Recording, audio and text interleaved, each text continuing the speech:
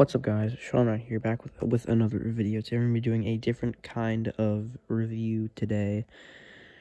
We're going to be looking at the uh, Lionel um, Hershey's uh, train set. Uh, this is quite a simple train set, uh, more of, not a Lion Chief, but um, conventional. Um, just wanted to make a video on it, just to tell people how I like it, and if the if you should buy it or stay away from it. Um, this is pretty inexpensive. I think this is around 200 uh, $250 for the whole set of uh, three cars, a tender, and a locomotive. Uh, first off, um, I'd like to say that uh, um, I've had this for a couple years. Um, it's kind of worn. You can see a couple places where it could be worn, but um, I haven't used it too much. It's mostly been sitting, uh, more of a display piece. Um,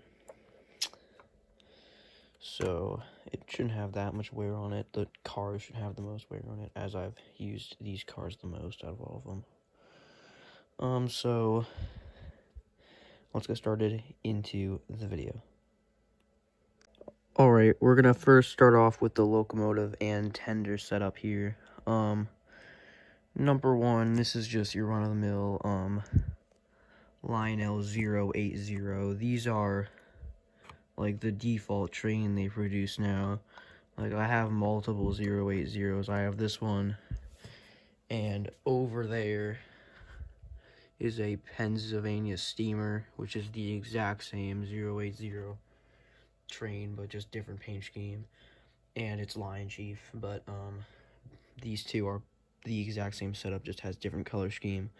Obviously, um, the brown and silver paint scheme, brown representing the chocolate, silver representing the um the wrapper around the chocolate, like Hershey Kisses.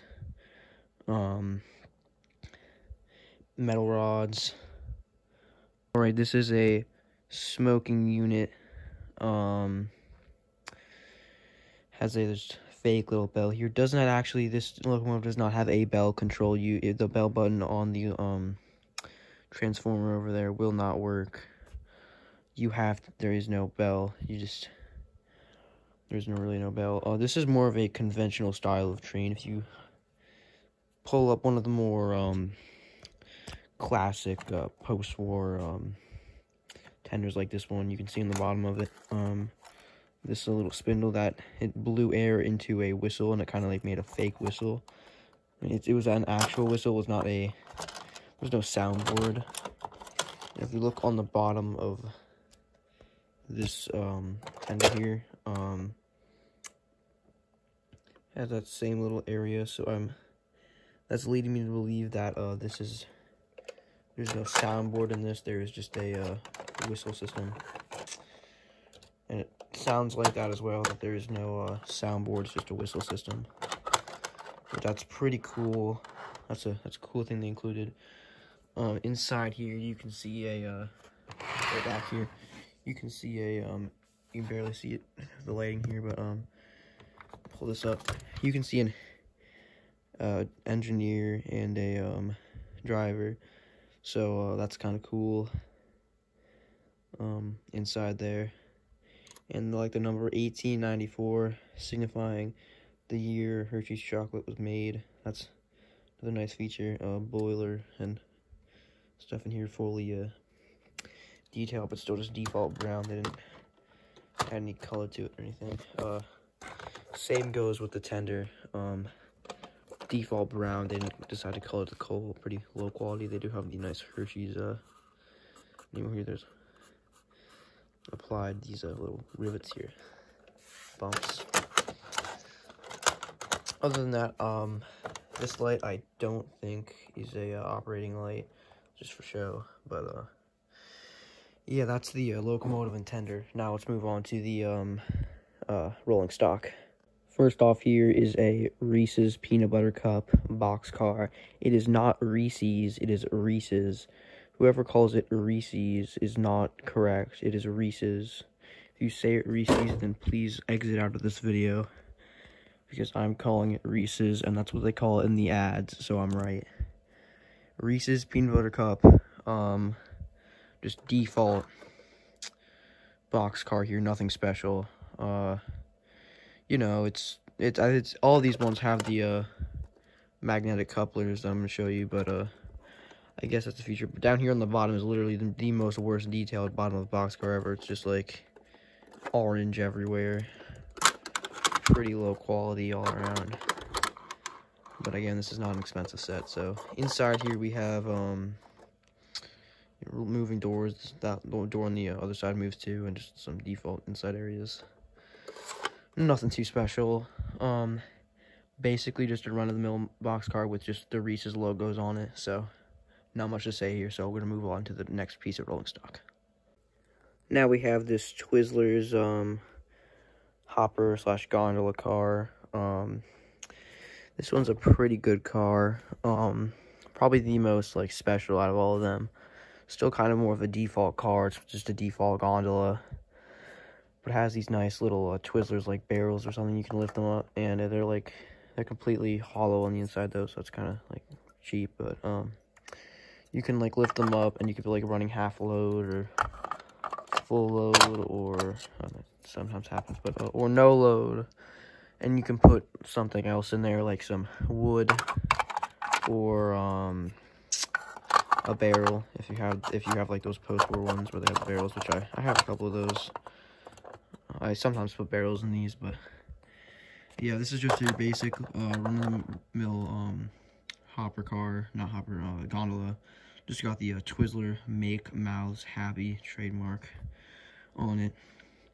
Kind of a cool little piece to have magnetic couplers as always. Um, completely plastic aside for the uh, wheels. Basically uh, just a run-of-the-mill uh, hopper. I mean, I, I keep confusing them. Run-of-the-mill gondola, so that's really nothing to say here. So I'm going to go on to the final piece of rolling stock.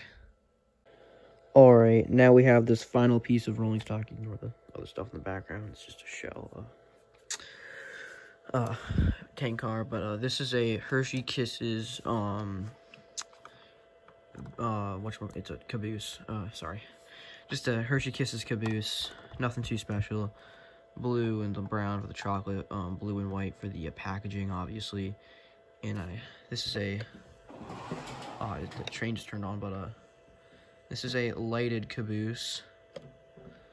Uh, so here you can see here it's got one central light in the inside there. Just basically like the other ones.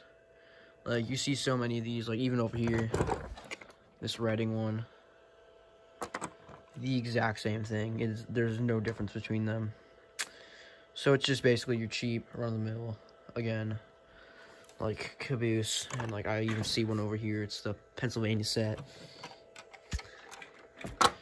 Again, same, same three, same exact designs. This one was even made by Williams, which is really weird that they have the exact same, all three designs. But that's aside from the point. So, just your basic run-of-the-mill lighted caboose. Nothing else to say there. Um, Matt magnetic couplers and stuff. But uh, other than that, not really anything. So let's go to run the train and final review, obviously. All right, now let's run this train. Um, I want to also include the uh, S2 K line, but that'll be coming in a different video. I'm gonna run it with probably these uh, cars though, because that's that'd be pretty cool. But uh, for now, let's just focus on this. So let's give it a run, and we're gonna also play the whistle while we're going.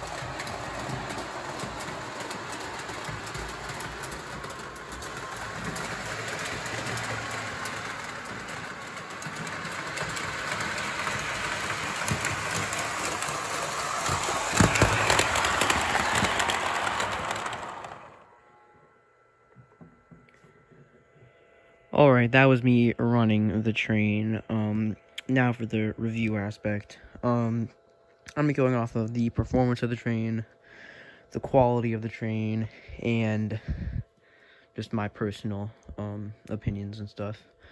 Um, number one, it performed pretty well. Um, it can pull like maybe uh, like 10, 15 cars, not like not like the heavy ones, but more like the lighter ones.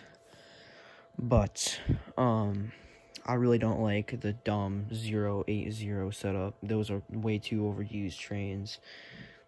And I have multiple of them. This is the better 080. I do not like that Lion Chief at all. I mean, I, I actually I like it, but I don't like it too much compared to this more conventional uh, train. But if I had to give it a rating on that, it would only get like a 3 or 2 out of 5. Actually, no, it would get a 2 out of 5 on like quality because this is like these train cars are kind of like on the lower scale of quality and this engine is just as default 080 um but performance it'll get like a 4 and for my personal opinion i really like this i really like the paint schemes on each car so i'm gonna give that like just like i'm i think out of 10 this out of 10 we'll get like a 6 6 or 7 around there. I would recommend if you're newer if you're newer into the hobby and just looking for something cheap to start out with I would get that. This is how I got the train. It was like my, it was like my second or third train. Um, that that was like purchased aside from my original uh, two post wars back there. I know that one with the tape on it. I'm fixing that. Um, but overall, this is like a six out of ten. Solid locomotive. Can like if you really if you're starting out and you need some like a nice like start out locomotive, then this totally be it has some pretty nice uh, like uh, rolling stock. I mean, it's not the highest quality, but again, uh, you have this lady caboose, which is pretty cool. Um, but other than that, basically, um, this is an okay train. So uh, if you like this video, um, make sure to tell me, and I'll make a couple more reviews or a review of one of the trains I have over here. I can do this uh, Union Pacific Lion Chief or Oops, I can do the uh, 080 Lion Chief. So if you want to see any of those, just tell me, and I'll make them. So uh, thank you for watching. Uh, hope you have a good rest of your day, or a good rest of your evening, or night, or morning. I don't know, but I'll see you guys next time. Bye.